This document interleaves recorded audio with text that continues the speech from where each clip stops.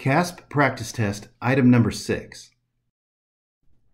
So in item number six, what we have here is we have a graph with a line on it, and it asks us to consider that line on the graph and to write an equation in the form y equals mx, where m is the slope. Now, what they're really talking about is the slope-intercept form. And the reason that they don't have the plus b there, I'm going to explain in a second.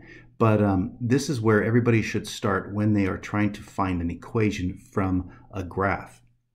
So our slope-intercept form is very important because the, uh, the m represents the slope of the line and the b represents the y-intercept. So if we're able to find the slope and the y-intercept, then we can write the equation.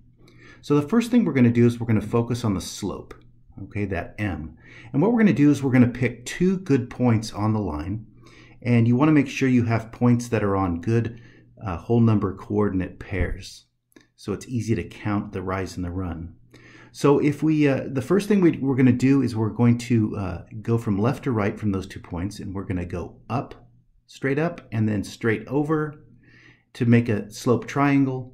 And so we're going to first look at the rise, which goes from 10 to 25. Be careful that you don't just put, it goes up three squares. Um, it's going from 10 to 25, so that's a rise of 15. The run goes from 20 to 50, and that is a run of plus 30. So we're going to write our slope, rise over run, and that is up 15 over 30, and that simplifies to 1 half.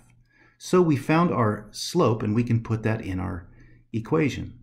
Now we still have to find the b, and the reason that they don't have the b here is because the b is the origin. It goes through 0. And if you were to write 0 in that b, it would be kind of unnecessary. We really don't need to put plus 0 on anything.